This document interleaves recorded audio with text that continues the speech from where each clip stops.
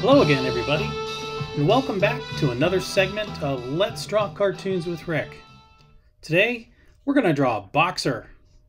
Let's grab our pencils and start drawing. First thing we're going to draw is going to be his eyes. So let's draw a circle eye, and then a slightly bigger circle eye.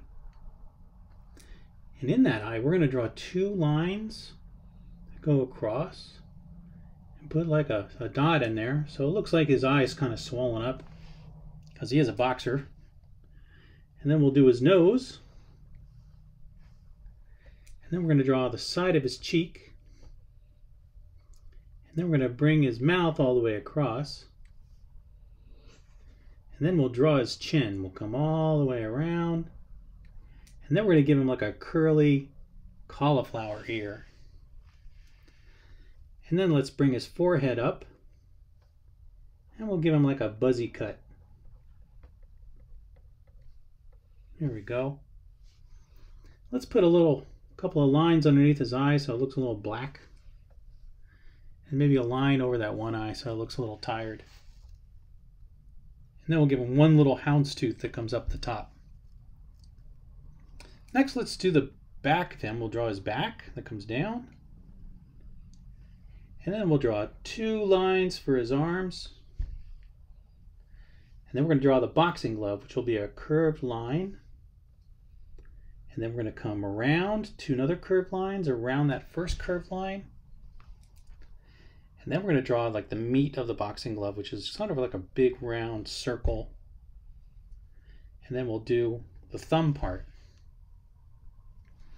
Now right at the top near the sleeve, we'll do like just a little like a label for the boxing glove. Let's do the rest of his body. Let's do his chest. Let's make his stomach come out a little bit and come all the way around. And then let's raise his arm because he's the winner. Though he doesn't look like it. And then we'll do the other glove. Let's do a curved line and then a rounded line that goes around. Do that on both sides. Then we're going to draw the thumb of his boxing glove, which is a curled line like that. And then we'll draw the rounded part that comes all the way in like that, and then we'll connect it. So now let's draw the rest of his trunks. We're going to square off the bottom of his trunks and bring it up. And we'll do the same thing on this side, square it over. Let's give him like a belt, well actually the waistband of his boxing trunks and we'll make a square where the label would be. And then these lines that are kind of like elastic. Now let's do his legs, which are two lines coming down. We'll do the top of his fighting shoes. And then we'll curl it down and come all the way back and then go up. And let's add another line inside there. We'll do the same thing on the other leg. Line with a curved line. And let's do the front of the shoe and the flat bottom and straight back. And then we'll follow a line for the sole.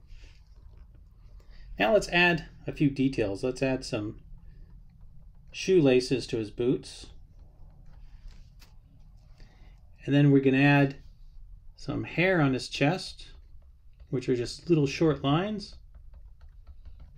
And maybe a couple on his arms. And make sure that the lines are short and that they go in different directions. Do the same thing on the other arm. Make a couple coming off the edge.